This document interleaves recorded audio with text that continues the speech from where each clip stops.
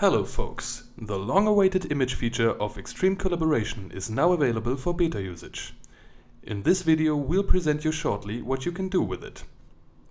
Call Extreme Collaboration as usual in your smart notebook software and start a connection.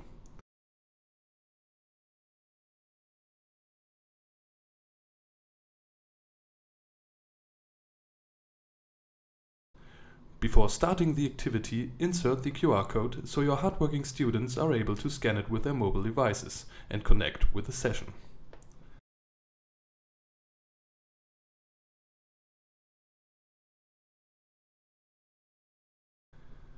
To unlock the image feature, just open the Activity Settings tab, check Allow Images and you are ready to go. Optionally, you can allow to send full screen images as well. Now your students can use their mobile devices to send images to the smartboard. And here's how to do that. Just click on Upload Image and choose your picture and it will be uploaded automatically.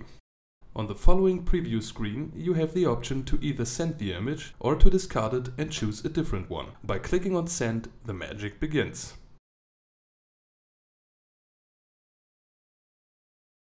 You can of course also take photos and send them immediately. Just click on Upload Image, take a photo and again it will be uploaded automatically.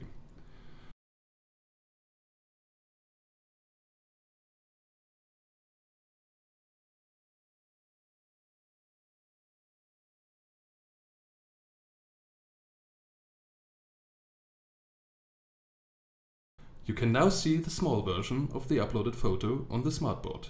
Isn't that great?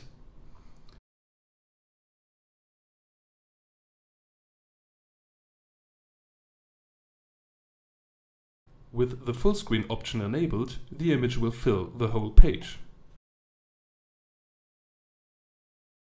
Thanks for your time. We hope you will enjoy the new image upload feature now available for beta usage. Have fun!